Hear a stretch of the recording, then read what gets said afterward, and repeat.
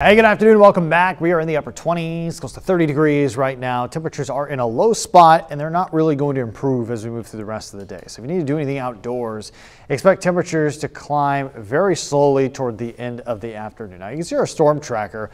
We have mostly cloudy skies that we've seen for the last several hours, but also some very minor snow flurries that have been passing through here. And they look impressive, but you know, they're really not that substantial and they're going to move out over the course of the next uh, couple of hours here. So you got got the cloud cover that's trying to leave. You got the snow flurries that are trying to leave.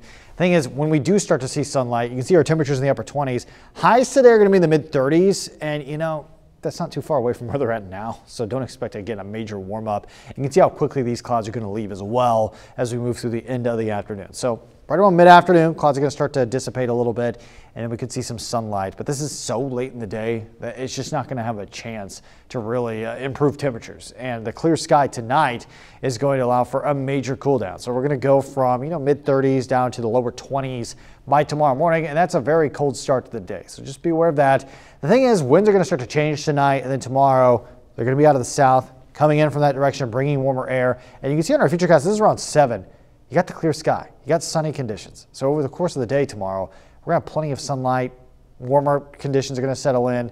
It's just going to feel a lot better outside if you have to do anything outdoors to begin the weekend. Now you can see today we're in the mid 30s. You know, snowflakes going to continue to be possible here for a little bit, but you know the clouds are trying to leave. We're going to see clear skies take over by tonight, and temperatures are going to be the lower 20s. So very cold, but you can see what I'm talking about with the winds. They're out of the southwest tomorrow up to 25 miles an hour. So our temperature is going to be near 50, which is above normal for February quite the warm up in just a, in just one day here, and the warm up is going to continue through the end of the weekend with highs in the mid 50s on Sunday with mostly sunny skies.